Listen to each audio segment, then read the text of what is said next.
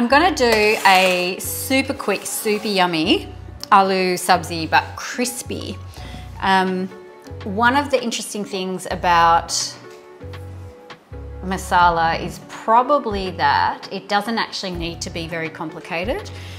There's just this whole canon of foods that are, you know, like a handful of spices um, and then just a little bit of technique. And obviously, when you're using less spice, the selection becomes important. So, this is going to be a little riff on what my dad used to do when he came home from his big sales days. He and mum had a textile business and he used to do his sales runs in the car all day and he'd never eat dinner. And then he'd come home and tell mum how hungry he was. And so this is what would happen. It's fried potato, black mustard seed, and salt. He just used to use salt and, and red chili. But we're going to use red chili, black mustard seed, turmeric, and salt, and then vegetable oil. The vegetable oil is a deliberate choice not to use mustard oil that has like a lot of aroma, but just to drive really simple flavor.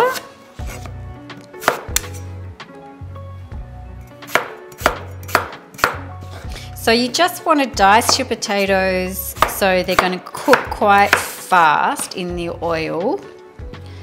And in fact, I might even put the oil on now while I'm doing this so I don't have to hang around. So I'm using a kadai, which is a cast iron, like traditional cooking vessel. You can get them in all the sizes. This is a big one.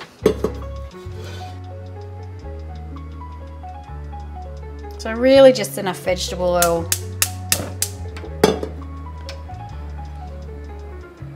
Hmm, that might be a bit much.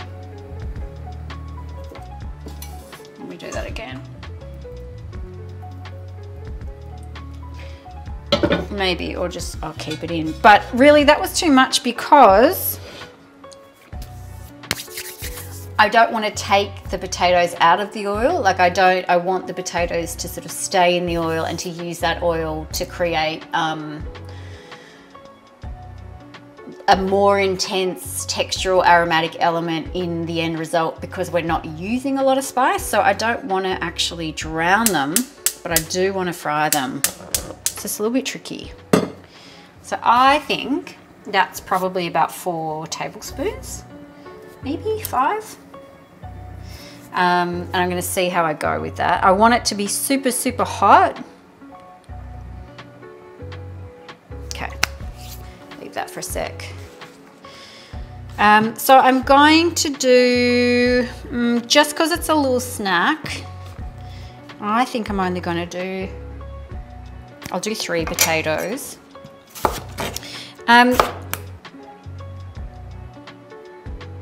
When we cook like this, so very, very high heat in oil with ground and dried spice, so not whole spice and not fresh spice, um, it matters when you put the produce in and when you put the spice in because um, ground and powdered spice can burn just really quickly in that kind of a heat. So I'm actually going to do something I don't normally do, which is I'm gonna put the produce in first. So potatoes will go in first, take some of the heat out of the oil, and then I'll add the rest. Okay, I just have to wait. Uh, I'm gonna move the board across because it's easier to have it all. I don't know where it should go. Maybe there wooden board next to open flame. That's my fire brigade training right there. It'll be fine, she said. That's very good yeah. Yeah. Don't worry, she said. Nothing will happen. One of the ways to understand how to make punchy flavour is to actually visually understand how to recognize what it looks like. Now, when you have spices together like this, Can you see that? Each of them's a distinctly different color and there's variation in texture. This equates with contrast. Every single spice is contrasting the other. And that level of contrast raises the volume, increases the intensity, and increases the appearance of aroma as well. So that's your punch. Visually, if you only want to use a few spices, make sure that they look disparate as well as taste disparate, and then you will have punchy flavour. Um, are you ready? It's going to spatter a little bit.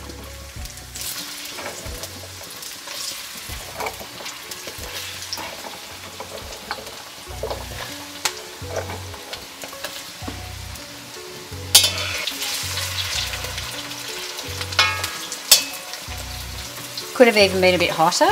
See how it's sort of not like super searing. It's not bad though because when a vegetable's not cooked at all and you do want it to cook on the inside a little bit and not just crisp up on the outside, it's not bad for the oil to still have a little bit of um, like for its heat to still be a bit moderated.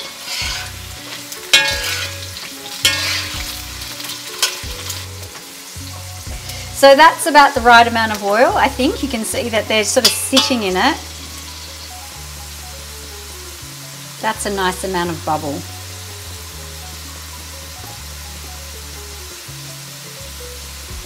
So much of cooking is visual cues. It's just understanding what a rolling boil looks like and what a medium boil looks like and what a slow simmer or a fast simmer um, in terms of oil, if you were talking about, you know, frying intensity, that's a medium high frying intensity. And then the other thing you'll notice is I'm not actually stirring it all the time because uh, I want it to sit and to um, cook, not just be stir fried through. Stir frying, it's a different end result of texture in your produce.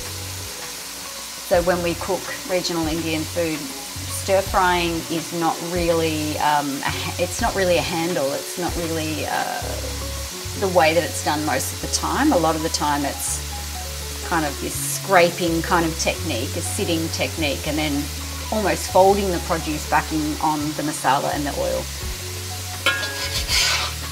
Here we go.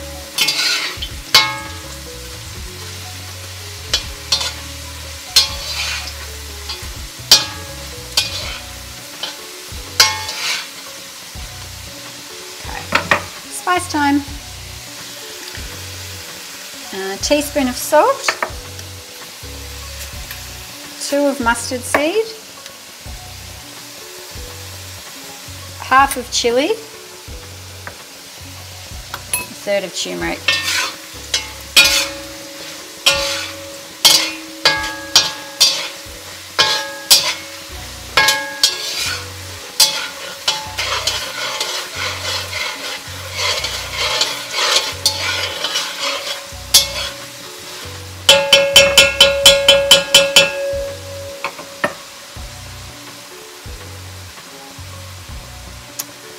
That is actually a little bit too much oil.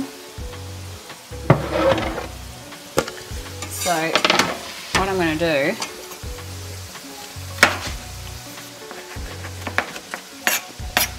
I'm going to put some tomato in here.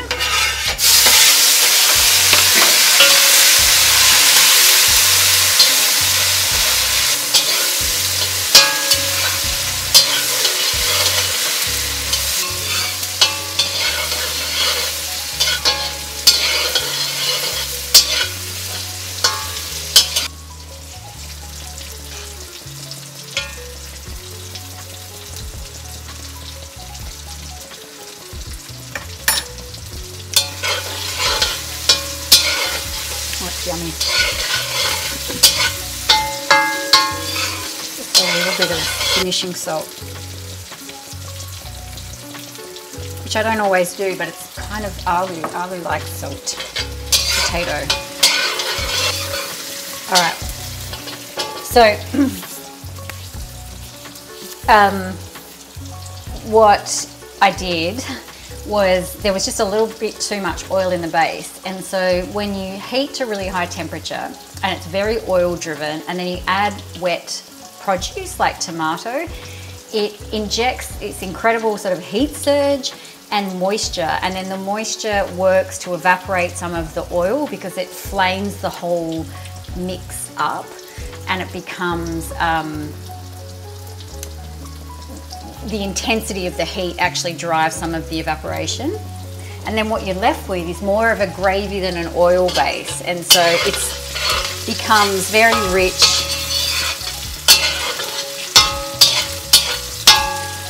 That's done.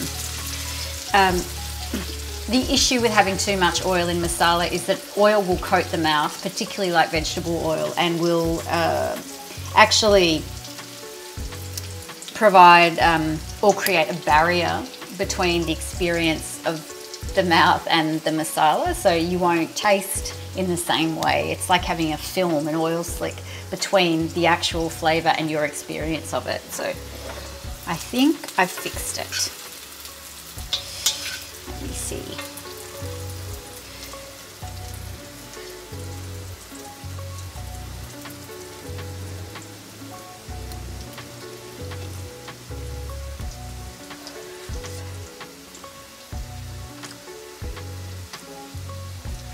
Yeah, that's really delicious.